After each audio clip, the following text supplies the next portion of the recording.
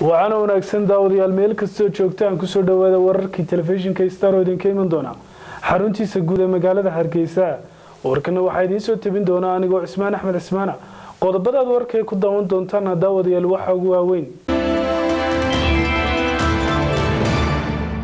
gudoomiyaha golaha wakiilada somalilan baashe maxamed faarax oo weheliyey gudoomiye ku-xigeenka labaad ee golahaasi iyo xildhibaan cabdiraxmaan maxamed talyanle ayaa sheegay in guddi loo saaray khilaafkii golaha wakiilada somalilan ee ka dhashay doorashadii gudoomiyaha golahaasi. Magaalada ceerigaabana waxaa gaadhay gudoomiyaha xisbiga mucaaridka wadani ana musharaxa madaxweyneha xisbigaasi cabdiraxmaan maxamed cabdilaahi ciro oo maalmihii ugu dambeeyey deegaano ka tirsan gobolkaasi sool ku mariyay socdaal.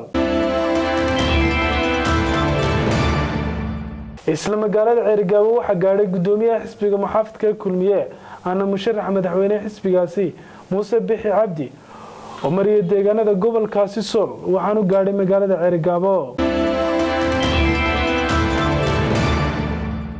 sheekh mukhtaar roobo abu mansuur oo ka mid ahaa xarakada al-shabaab muddooyinkii ugu dambeeyey ayaa isku dhiibay maamulka koonfur galbeed ee soomaaliya.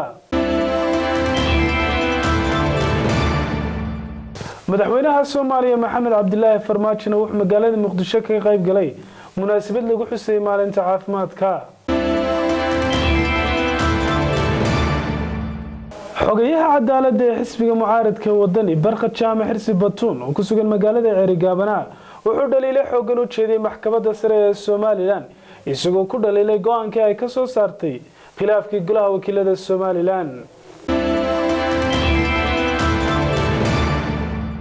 Gudoomiye ku-xigeenka labaad ee xisbiga muxaafidka ee kulmiye axmed cabdidheere warameeyey telefishinka star ayaa ka hadlay xildhibaano ka baxay. Xisbigaasi isagoo soo dhaweeyey guddigii loo saaray khilaafka golaha wakiilada somalilan baarlamaanka soomaaliyana waxay markii ugu horeysay su'aalo weydiiyeen wasiirka arrimaha dibadda soomaaliya. Golaha wasiirada ee maamulkaasi galmudugna waxay ansixiyeen miisaaniyaddii maamulkaasi wararka caalamkana daawadayaal waxaa ugu waaweyn. Banaanbaxyo xoogan ayaa ka dhacaya gobolka virginia ee dalkaasi maraykanka. Daawadayaal intaasi waa qodobadii warka haatana ku soo dhawaada wararkeena fidsan balse intaynu gelin wararkeena fidsan qadar xayeysiis aan ku nasanno